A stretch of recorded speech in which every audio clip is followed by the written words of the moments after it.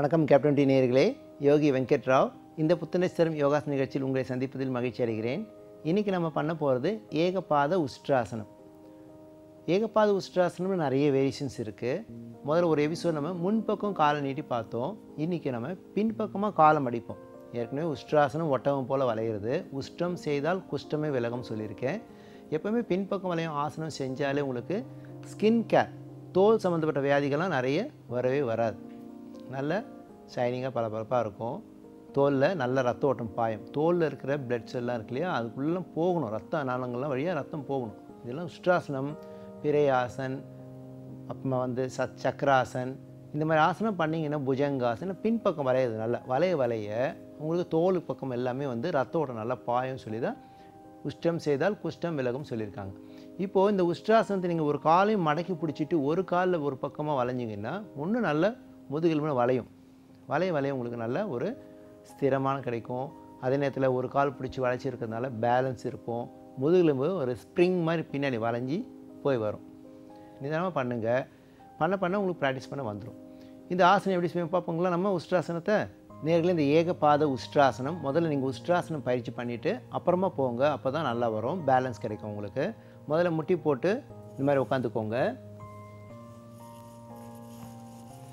நேராக முட்டி போட்டிருக்கேன் இப்போது இப்போ கால்கள் என்ன பண்ணுறேன் விரல்களை மடித்து நல்லா அழுத்தம் கொடுத்து வச்சுக்கணும். அப்போ தான் உங்களால் பின்பக்கம் வளையும் போது அந்த கால் மேலே சப்போர்ட் பண்ணுவீங்க கையை. இல்லையா? இப்படி வச்சுருந்தா கொஞ்சம் கால் வலிக்கிற மாதிரி இருக்கும். ப்ராக்டிஸ் பண்ணுற முதல்ல இந்த மாதிரி வச்சுக்கோங்க. அப்புறமா பழக பழக மாதிரி படுக்க வச்சுக்கோங்க. இப்போ என்ன பண்ணுற முதல்ல நான் உஷ்டாசனம் பண்ணி பார்த்துக்கிறேன் ஒரு முறை. வலது கை இழுத்து மேலே போய் வலது காலை பிடிச்சிட்டேன். இடது கை மேலே இழுத்து பின்னாடி வச்சுட்டேன். இப்போ நல்லா மூச்சு இழுத்துட்டு தலையும் தொங்க விட்டுட்டு நல்லா வளையிறேன். ஒரு ஐந்து எண்ணிக்கை வச்சுக்கிறேன். திருப்பி மறுபடியும் மூச்சு இழுத்துட்டு விட்ட நிலையில் வந்துட்டேன். இல்லையா? இது எப்பவுமே உஷ்ட்ராசனம். இப்போ ஏகபாதம்னு ஒரு கால் மட்டும் பண்ணணும் உஷ்ட்ராசனம். ஒரு கால் வந்து அப்படியே இருக்கணும். எப்படி பண்ணணும் அப்படின்னா இப்போ நான் வலது கால் முதல்ல மடித்து பிட்டம் வரைக்கும் நல்லா அழுத்தி வச்சுக்கிட்டேன். சரிங்களா? இப்போ என்ன பண்ணுறேன் ஒரு கையை மறுபடியும் இடது கை மேலே தூக்கின்னு போகிறேன் பின்னாடி போய் காலை பிடிச்சிட்டேன். இப்போ நான் வளையிறேன் நல்லா. மூச்சு இழுத்த நிலையில் இருக்கேன். திருப்பி மறுபடியும் அப் பண்ணும்போது முதல்ல கை எடுத்துட்டேன். இப்போ இந்த காலை ரிலீஸ் பண்ணிவிட்டு தரையில் வச்சுட்டேன். கொஞ்சம் ஈஸியான ஆசனமாக இருக்கும். செய்யும்போது கையால் இது இழுத்து பிடிக்கணும். நல்லா பலமாக இழுத்து பிடிக்கணும். பிட்டத்திலே இருக்கணும் கை கால். இப்போ இடது கால் பண்ணுறேன் அதே மாதிரி மடிச்சிட்டேன். நல்லா அழுத்தி பிடிச்சிக்கிட்டேன். இப்போது வலது கை இழுத்த மேலே மூச்சு இழுத்துட்டு பின்னாடி கால் வச்சுட்டேன். நல்லா பின்னாடி சாயிறேன்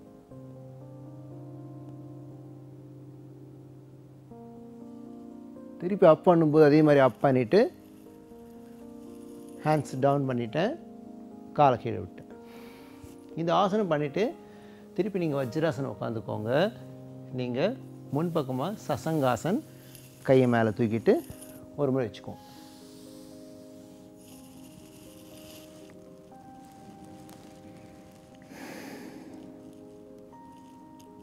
கொஞ்சம் ரிலாக்ஸ் ஆன பிறகு மறுபடியும் எழுந்து உட்காந்துட்டு டவுன் பண்ணி வச்சுக்கோங்க. இது மாதிரி பண்ணும்போது உங்கள் முதுகெலும்பினாவது பின்னாடி வளைஞ்சது அதுலேயும் ஒரு கால் முட்டி வச்சுட்டு அழுத்தி வச்சுக்கோங்க நல்லா ப்ரெஸ் ஆயிடுச்சு. திருப்பி மறுபடியும் வலது பக்கம் இடது பக்கம் பண்ணிங்க. ரெண்டு முறை வளைஞ்சு எழுதுங்க அது மாதிரி ஒரு மூன்று முறை பண்ணிங்கன்னா ரெண்டு காலம் மடித்து மடித்து பண்ணுறதுனால ஆறு முறை செய்கிற மாதிரி ஆகிடும் கவுண்டிங் வச்சுக்கோங்க. நிதானமாக பண்ணுங்கள் அழகாக பண்ணுங்கள் நல்ல பலம் கிடைக்கும். ஒரு மாதத்தில் உங்களுக்கு நல்ல ஸ்கின்ல சுருக்கம்லாம் இருக்காது. ஃப்ரெஷ்ஷாக இருக்கும். ஸ்கின்லலாம் ரத்த ஓட்டம் நல்லா பாயும். மறுபடியும் உண்மை பண்ணுற பாருங்கள் நேராக இருக்கேன். இல்லையா? இப்போ முட்டியை திருப்பி பா இந்த பக்கம் வலது பக்கமாக பாருங்கள் நல்லா. நேராக முட்டி போட்டு இருக்கிறேன் இப்போ மெதுவாக என்னுடைய இடது கால் மடித்து நல்லா பிட்ட வரைக்கும் வச்சுருக்கேன் நல்லா.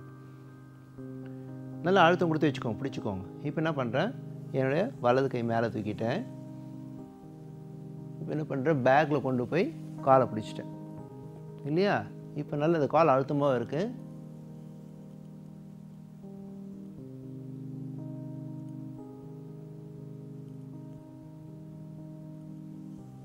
ஐந்து கவுண்ட் முடித்த பிறகு மறுபடியும் ஃபஸ்ட்டு ஹேண்ட் ரிலீஸ் பண்ணிக்கிறீங்க அப்புறமா இந்த பிடிச்ச மடித்து பிடிச்ச காலை லூசனாக விட்டுருங்க. திருப்பி நீங்கள் உட்காரும்போது வஜ்ராசனம் உட்காந்துக்கோங்க. இந்த மாதிரி ஒரு மூன்று முறை பயிற்சி பண்ணாலே நல்லாயிருக்கும்.